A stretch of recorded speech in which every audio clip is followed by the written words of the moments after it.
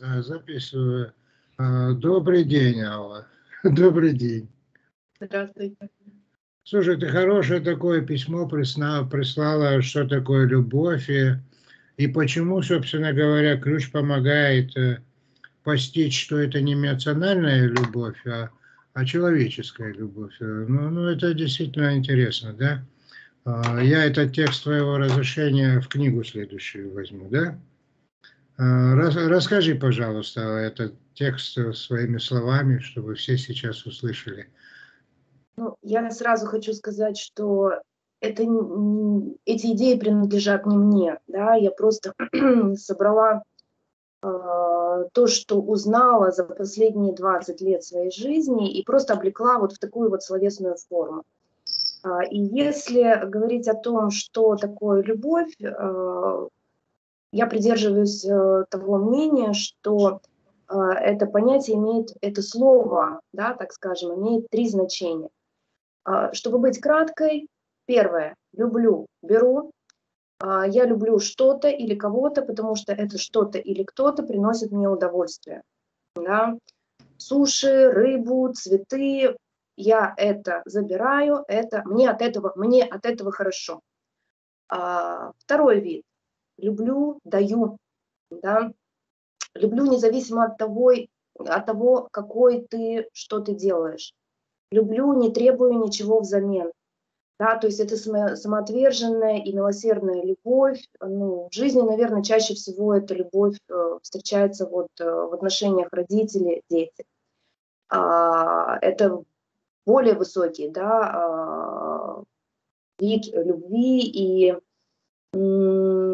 часто бывает так, что э, мы идеализируем, да, чтобы нам легче было, да, идеализируем объект своей любви, то есть не видим каких-то недостатков.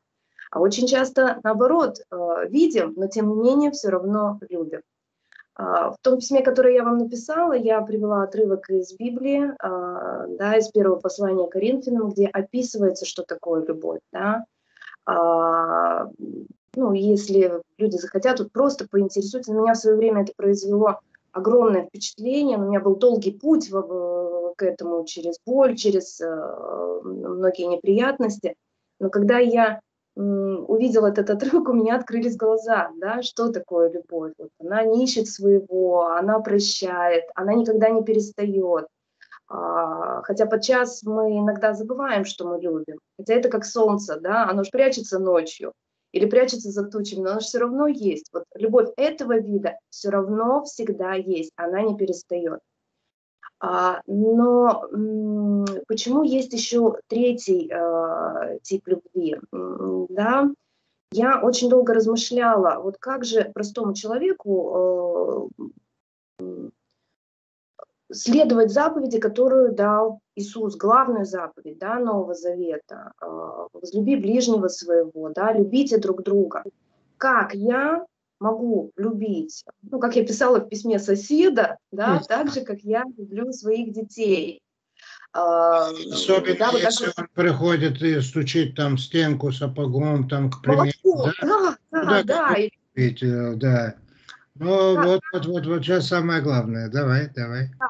А как же это сделать? И мне кажется, такое количество верующих людей, которые искренне хотят э, быть с Богом, да, но вот само как бы э, первоначальная невозможность вот, любви вот к этому соседу как бы ставит вот определенный барьер, да, я, не, ну, я просто, ну почему от меня это требует, я просто не могу это сделать. Так вот, э, в данном случае, опять же, повторяюсь, это не моя идея, просто я ее очень близко восприняла. Третий тип любви а, это люблю и делаю, она не имеет ничего общего с нашими чувствами, эмоциями и переживаниями, как это есть в первых двух видах любви. Да? То есть первый беру и, первый, и второй даю, это всегда эмоции, чувства, а, какое-то определенное состояние, эмоциональное переживание и так далее. Здесь об этом не может быть и речи. Тут любовь – это действие я принимаю волевое решение. Любить, что это значит? Не испытывать чувства, а делать добро. Делать добро, помогать, не завидовать, не брать чужого, не злословить по отношению да, в, в адрес кого-то другого. Это, это не связано. Хочу я этого, не хочу, нравится мне это, не нравится. Я просто принимаю решение действовать так. И вот он, э, этот тип любви, да, а, опять же, с эмоциями, еще раз, да, вот самое главное здесь, да, не имеет никакого отношения к нашим чувствам. Не важно, что я чувствую, я просто делаю. Но вот опять же вопрос в чем? Ну, если мне этот сосед стучит постоянно в стенку, да, я его терпеть не могу. Ну как мне перейти вот э, через свои вот эти вот негативные эмоции и сделать ему какое-то хорошее дело? Вы понимаете, когда я э, вот познакомилась э, с ключом, э, не сразу, не сразу, но постепенно, достаточно быстро до меня дошло, что вот нулевое состояние, в которое можно войти с помощью синхрогимнастики или с помощью идеорефлекторных а, приемов, да, это погружение в то состояние, где уходят эмоции. Нирвана, нирвана, это освобождаешься от страха, от зависимости, от эмоций. Это действительно гармонизация. От страха, от страха, да, от обид, ты просто начинаешь видеть вещи такими, как они есть, без включения э, своей эмоциональной составляющей. Да. И если этот момент, да, то есть это, это действительно многие, я вот ну, действительно пересмотрела очень много роликов и видела, как реагируют люди на вот это состояние, оно удивительное, оно настолько легкое и свободное, и это как, в своем письме я назвала это вот Божьим покоем. Я действительно, изучая Библию, вот изменяя себя, стараясь изменить себя и свою жизнь, ну, я ну не могла, ну, ну как, ну как войти в этот Божий покой, да, особенно когда, ну вот жизнь, ну, ну мы же понимаем, в каком мире мы живем, да, э, много всяких проблем, мелких, больших, ну как вот туда войти? А, например, если проповедники, они говорят, да, это нужно, но они не говорят, как это сделать. Потому ну, что чем не занимаются, они просто не учили в семинаре. Хотя мои друзья священники занимаются и преподают это кусочками. А, да, то есть я, например, не умею медитировать, я знаю, что это не так просто, как кажется. Ну, тут спасибо Вячеславу Смирнову, а, вот, вы знаете его, это... Ну, конечно, нас... конечно, конечно, знаю. Да, да, да. И он первый говорит о том, что это не так просто, как пишут на первых страницах в интернете. Правильно? Ну вот как, как же вот достичь этого состояния покоя? И тут я нахожу, это, то, это я считаю, что, знаете, как э, ничего не бывает просто так. Я искала и нашла. Да, вот элементарные, простые упражнения, э, которые помогают тебе очень быстро попасть в это нулевое состояние и насладиться тем, что оказывается, да, ты можешь быть легким, свободным, ты можешь обнять весь мир, ты понимаешь, что вот это то, что говорится в Библии, Бог в вас, сила Божья в вас, это, это действительно то, что... Это, это состояние внутренней свободы. Это да. состояние свободы от страха, комплексов, стереотипов, шаблонов мышления. Это выходишь на свою собственную естественную природу. Это и есть, когда Христос говорил, Царство Божие внутри вас есть. Да, и оказывается, эта природа классная, да, то есть она замечательная, в ней хочется и может да, делать э, хорошие вещи. А почему, ну вот давайте скажем, почему так важно, да, вот, э, я вам расскажу очень кратко маленькую историю. Э, 20 лет назад, э, ну, у меня была череда таких трагических событий, что, э, ну, в общем, э, у меня был, наверное, ну, наверное, это можно назвать нервным срывом. Я рыдала трое суток, не переставая, то есть не отвлекаясь ни на сон, ни, ни еду, а, пока не обратилась к своей очень хорошей знакомой, до сих пор ее благодарю, а, психоаналитику. Я ей позвонила и сказала, что мне нужна помощь, и вот, ну, делай что-то со мной. А, мы встретились, и знаете, что она мне сказала сделать? Она ни слова, она не пожалела меня, она не сказала, бедная ты несчастная. Она мне сказала, ты сидишь, рыдаешь три дня, а что чувствует при этом, у нас тогда не было еще детей, а что при этом чувствует твой муж? Иди и приготовь ему ужин. Я послушалась, пошла, приготовила ужин, и по реакции своего мужа, который уже измучился, да, ну, представляете, близкий человек сидит, рыдает, ему очень плохо, да, он измучился. И тут он приходит, у меня готов ужин. И по его глазам я поняла, как это важно. Во-первых, мне полегчало, да, э, ну, потому что я отвлеклась э, от своих проблем, да, изменила э, вот эту ситуацию. И по его, я была тогда счастлива тем, что счастлив он. И тогда вот, первый раз у меня появилась эта э, мысль, казалось бы, очевидная, да, то, что говорится, э, да, э, не можешь решить свои проблемы, займись чужими, да, хочешь решить свои проблемы, сделай кому-то хорошее дело, сделай кому-то добро. И вот вокруг этого стало развиваться, стал развиваться мой поиск. А как? Я поняла, что вот это действительно кайф, видеть светящиеся глаза человека э, близкого, незнакомого, когда ты на улице кому-то помогаешь, это совершенно иное состояние. Если бы люди это поняли, испытали хоть раз, у вас бы в школе, э, Хасай Маговедович, сидели, сидели бы миллионы, потому что люди сами не знают, насколько это замечательное состояние. Этому надо учиться. Не всегда получается, да? Иногда хочется соседу дать по голове. Но... А, поэтому я хочу срезюмировать. Когда говорят любовь к ближнему, имеется в виду не эмоциональная любовь. Очень важно, имеется да. в виду любовь человеческая. А вот это легко понять, когда выходишь на состояние Творца а, в себе. То есть, когда освобождаешься от страхов, от комплексов мышления, от авторитетов, ты освобождаешься, и ты начинаешь чувствовать такую благодать. И хочется тебе поделиться этим, и тебе хочется уже другому человеку помочь.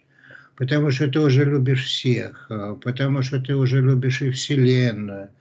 У меня одна тетенька в Болгарии, она говорила, я вот такая вредная, когда пока кому шпильку не вставлю, не успокаиваюсь. А потом, когда она приемы ключа сделала, она говорит, хочется любить Вселенную.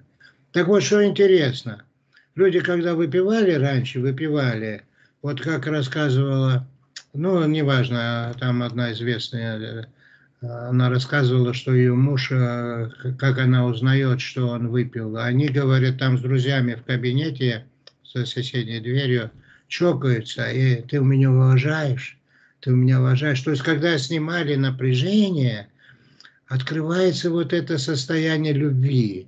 Но алкоголь это дело плохое. А у нас с помощью, с помощью ключа как раз-таки этот эндорфин внутренний открывается. Когда снимается стресс, снимаются нервно-мышечные блоки и зажимы, и человек включает внутреннюю аптеку, и там же эти гормоны есть. Гормоны радости, любви, хорошего настроения, сочувствия, сопереживания. Такая сенситивность открывается у людей чувство чужой боли, сострадания, милосердия. Конечно, это все внутри нас, внутри нас это все есть. Это есть человеческое отношение. И поэтому ты очень хорошо сказала, что ключ помог. Кстати, Славик Смирнов у меня учился методу ключа. Я ему привет передаю. Пошли ему этот ролик с приветом моим. Очень такой замечательный, замечательный Славик. Замечательный, правда. Да, да, да. Замечательный. Э, я помню, как я в Киев приезжал и там проводил эти занятия, да. Так. А, я хочу еще просто чуть-чуть дополнить, да. А, на мой взгляд, не обязательно дожидаться стресса, чтобы а, заниматься ключом, да, совершенно не обязательно. Бывают ситуации, когда это скорая помощь, и надо успокоиться, привести мозги в порядок, мобилизоваться и что-то сделать. Но э, я бы просто порекомендовала вот людям, вот даже если у вас все спокойно, все хорошо, тем более это повод для того, чтобы попробовать стресс-тест. Да? Если у вас все в порядке, скорее всего, это пойдет. Кому я это не рассказываю, мне говорили, ну это такое состояние, особенно первый раз, когда ты понимаешь, что а, это... Ну, конечно, конечно. Ты, ты, ты знаешь, Алла, я сейчас сделал целебный ролик. Целебный ролик для всех.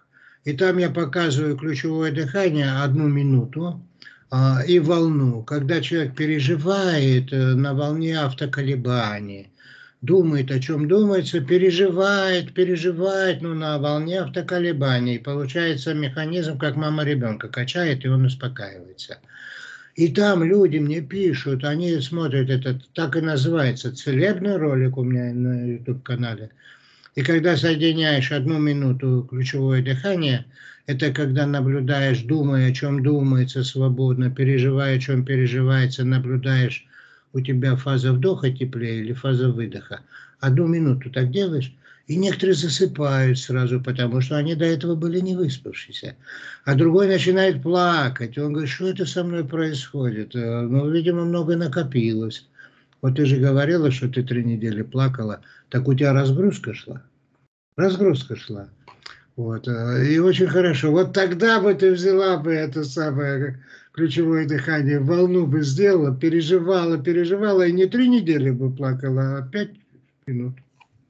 Потому что там быстро выходишь из этого состояния. Я еще использую стресс-тест, чтобы получать ответы на вопросы. Да? Когда возникает какая-то жизненная ситуация, и я не понимаю, почему, почему не получилось, или почему получилось так. Да? То есть действительно оно приходит, и этот ответ приходит изнутри. Это не то, что ты голоса слышишь снаружи. Это тихий, знаете, как это называется, тихий внутренний голос, да, вот голос вот, ну, Бога, да, потому что вот, ну, я же не знаю ответов на все вопросы, они откуда-то приходят. И ты действительно, я сначала сомневалась, думала, может, это я сама себе придумала? Да, может быть, что-то я придумала, но оказывается, из ниоткуда, и даже я, я не могу это придумать, эта мысль должна прийти. И это действительно работает.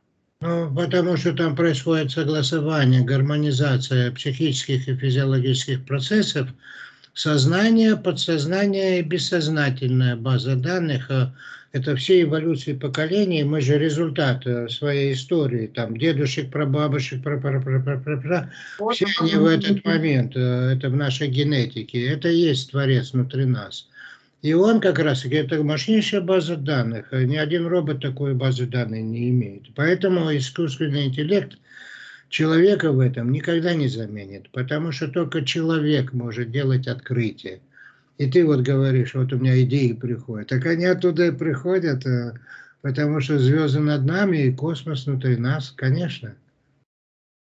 Это да. удивительное состояние я, ну, со своей стороны, да, что вот я могу сделать? Мне настолько хочется, чтобы эта школа развивалась, и как можно больше людей участвовали и понимали, что же это такое, это испытывали. Но я рассказала, я ученикам своим, да, я вот учитель, у меня ученики делают разгрузку.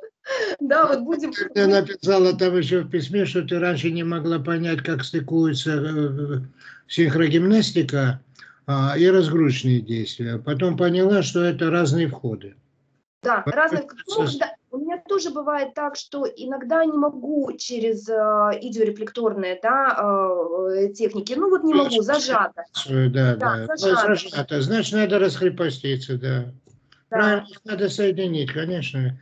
Потому что я и говорю всегда, что ключевые приемы вы берете, подбираете себе путем перебора. Одни делаете упражнения – когда вы зажаты, вы берете элементы синхрогимнастики. Когда вы спокойны, вы можете сразу волну делать. Надо это все соединять между собой, и путем перебора, как раз подбирая, развивается интуиция, как, что когда надо сделать.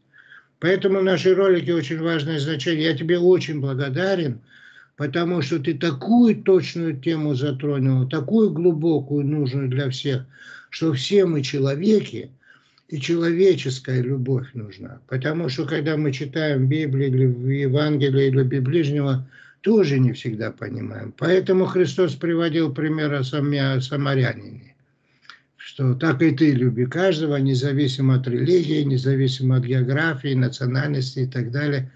Поэтому от того, что ты чувствуешь. Да, да, потому что это не эмоциональная, а человеческая любовь. Это вечные ценности.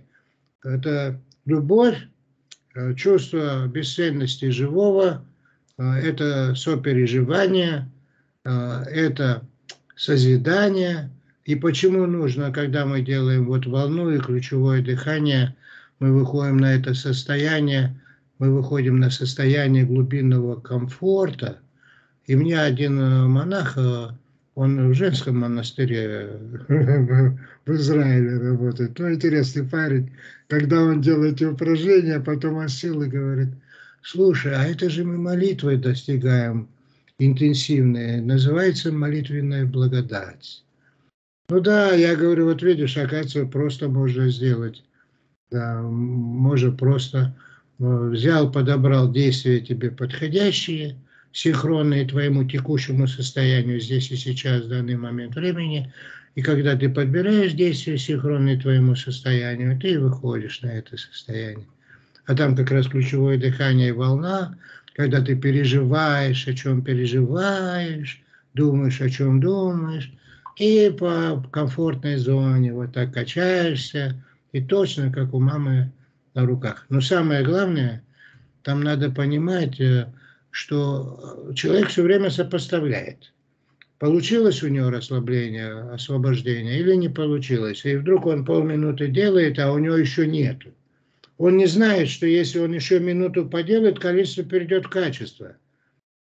А он сразу думает, нет, у меня не получается. Вот у всех получается, а у меня нет. Да, а если кстати, еще поделает пару минут раз, и вдруг освобождение. Потом вот так а вот... Знаете, как еще может быть? Да. Uh, у меня было такое, я перенесла ковид, uh, слава богу, что я уже была знакома с ключом, хотя, ну, сразу говорю, что все достаточно легко прошло, но uh, средства массовой информации делают свое дело, да, хотя да. и крепкий орешек, и готова была к тому, как это все воспринимать, но все равно где-то что-то закрадывалось. Но вот как это иногда еще работает, чтобы вот люди понимали, да, в моменты активной трясучки, вот так назовем, да, когда начинает трясти, а, я делала хлест. по спине, хлест по спине. и вот делаешь, делаешь, делаешь, я устала, я слабая была физически, да, устала и думаю, а, что-то ничего у меня не получается, села. И когда я села, я поняла, только в тот момент я поняла, что я ни о чем не думаю. И мне не хочется, то есть не в момент того, когда ты это делаешь, да, а то, что называется после вот, действия. Вот, вот, я... вот, вот, вот, вот, вот, вот, там есть стадия после действия. Да, да, да, да, момент. Да, есть, да, то есть не обязательно ждать, что вот именно в момент проделывания этих э, упражнений у тебя все закончится. У меня не закончилось, но как только я села, я вдруг, о, а мне полегчало. Да. да, да, да, стадия после действия называется. У меня в книжках везде это написано, но не все же читали книжки, пусть читают книжки а, и пусть смотрят ролики. Я тебе очень благодарен, потому что ты такой участник школы «Человек будущего», который на самом деле помогаешь нам всем приблизить наше лучшее будущее. Спасибо тебе, Алла. Спасибо тебе большое. Я твой текст взял в книжку следующую, которая тоже скоро выйдет своим именем. Там тоже будет твой текст. Да, спасибо тебе огромное. Большое спасибо, Хасай Магомедович. Вы знаете, вот э, мне иногда кажется, что вы сами не знаете, какое великое дело вы делаете, но вы должны понимать, что мы это понимаем. Спасибо тебе. Спасибо. Спасибо. Дистанционно тебя целую. Дистанционно. Взаимно. Я большой юморист. И кто чувствует юмор, значит психически здоровый человек. Я всех... испытывает любопытство. Да, любознательности с э, юмором и способны быть человеками. И вместе мы сила. Вот сейчас мы школу расширяем, ставьте комменты, комменты продвигают, оказывается, школу, потом лайки, а, задавайте там вопросы, нас не надо хвалить, там вопросы задавайте, я же все время отвечаю. И посмотрите еще раз, пожалуйста, ролик, целебный ролик называется. Там, там простейшее в мире такого нету. Мне там одна дама написала, я эту технику дыхания, э, что вы пишете ключевое дыхание, вдох, выдох, тепло, холод, я, говорит, делал раньше, еще много лет назад. Это, говорит, суфийская техника. Я очень рад, что это есть э, в культуре, в природе, еще бы. Э, тысячелетиями это есть. Но в суфийской технике, к сожалению, не было, что именно надо искать синхронизацию – что ищи, где тебе теплее вдох или выдох, и пока ты ищешь одну минуту всего, уже наступает состояние.